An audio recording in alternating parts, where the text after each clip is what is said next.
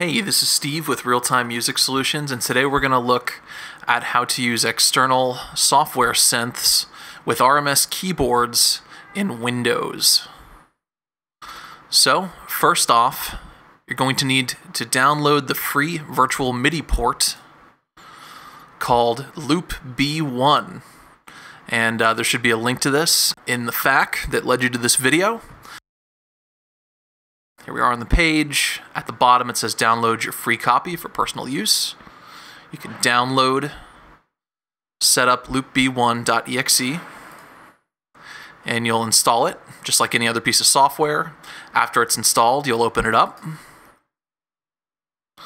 If you don't have a shortcut on your desktop, it actually goes to here, nerds.de. It's in there. Um, after you've got it open, uh, you might not immediately see it because it's actually hiding down here in your task manager. It looks like LoopBe1 internal MIDI port is active. Okay, and now we'll want to open up the uh, soft synth that you're using. Uh, we've got Kontakt 5 here.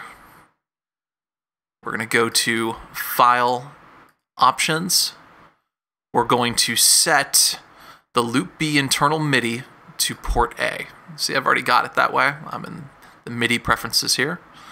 Click close. And now I'm going to drop in my instrument. So I've got this organ here. It's in place. I've got RMS keyboards open. I'm going to click to switch to edit mode.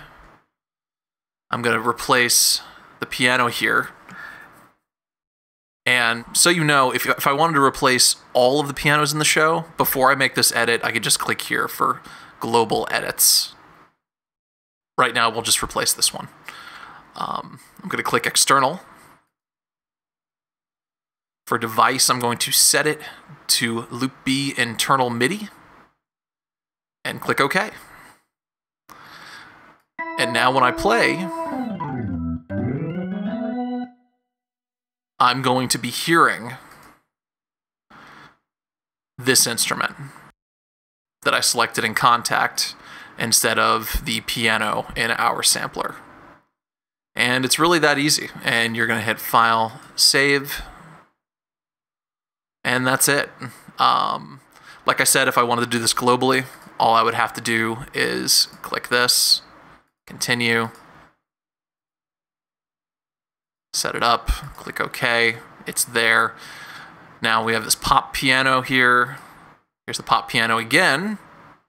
And as we can see, it is set, external, LoopBe, MIDI, etc. And uh, you can select the channel here. This is um, if you're in Kontakt and you've got multiple instruments, then you'd have to route them specifically uh, per, uh, per MIDI channel here. But that's the uh, quick and easy way to get this working in RMS keyboards. Take care.